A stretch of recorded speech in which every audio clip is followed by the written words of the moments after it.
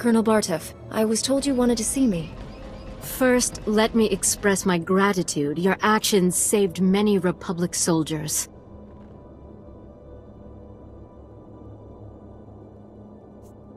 Your special forces were invaluable during the battle with Executor Kranis.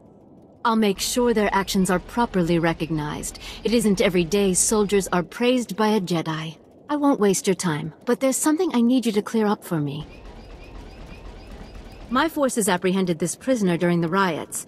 I need to know why one of the galaxy's worst criminals was helping you.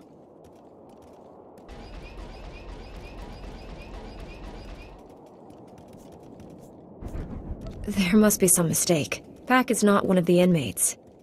It's true. I came here a decade ago as a prisoner, and I deserved it. I did things you don't want to know about. Being on Belsavis, surrounded by scum just like me, it opened my eyes. Even if I could never leave here, I could still change. It took years, but I did it. The warden made me an honorary guard. Said I earned that.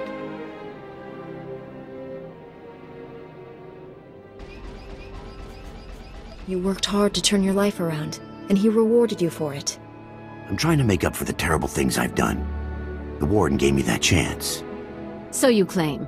Unfortunately, we have no evidence to support your story.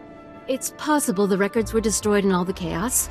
However, it's also possible you're lying.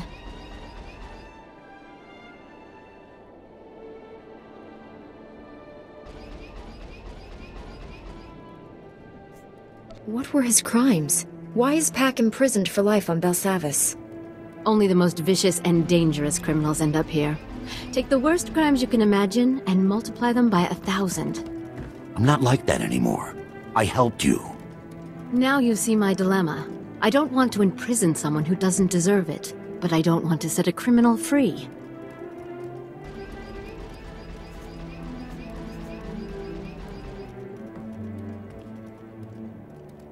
I couldn't have completed my mission without Pack.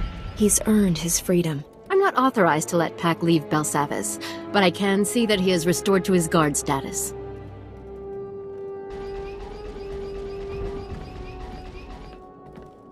This means everything to me. Thank you both. I'm sure you have business elsewhere. Thank you again for everything you did here.